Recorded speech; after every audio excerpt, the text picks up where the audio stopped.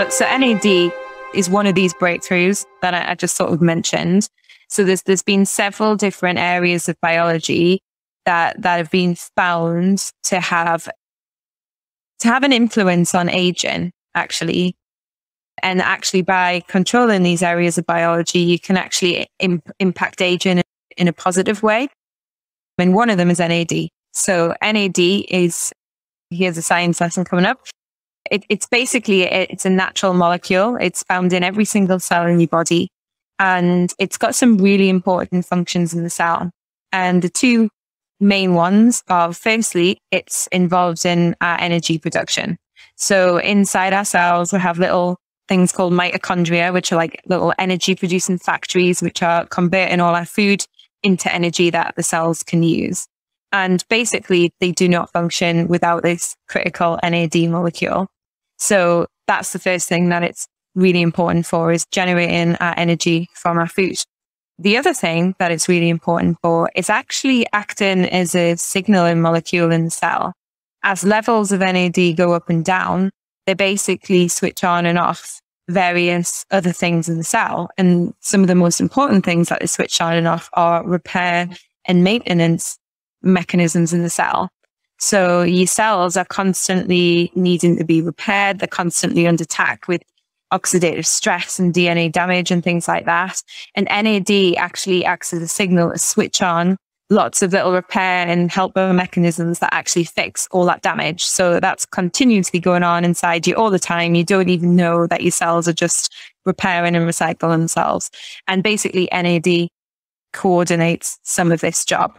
So NAD is important in autophagy. So autophagy is, is signaled by NAD as well. That's part of these maintenance and repair mechanisms, these cellular maintenance and repair mechanisms that are going on, which the levels of NAD help to coordinate them being switched on and switched off.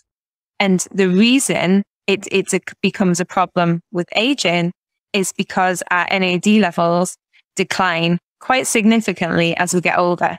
So when we're born, we have really high levels, but as we get, uh, you know, to midlife, they've dropped quite a lot. So as we get to elderly ages, there's really not very much NAD left at all. And to put that into sort of numbers, you're looking at about a 50% decrease in your NAD levels every 20 years. So, you know, that's an awful lot to be dropping out of the cells, considering how important it is. So scientists sort of said, well, you know, if we've got this molecule in your cells, it's obviously really important. It does all these important jobs that are linked to aging and it declines as you get older. What happens if you don't let it decline as you get older? What happens if you keep your NAD levels at a youthful level and you just don't let them decline? So there was a series of very high profile studies that demonstrated that actually, if you could keep NAD levels high in cells or mammals, you actually could stop or even reverse some of the age related decline that is associated with lack of energy and also with lack of maintenance and repair in the cells. So those like fundamental uh, things that NAD coordinates.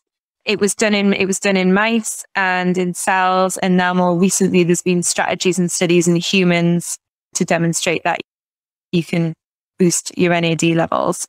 So after those results, there was a huge rush to how can we translate this to humans? How can we actually keep NAD levels high in human cells and can we get the benefits from it?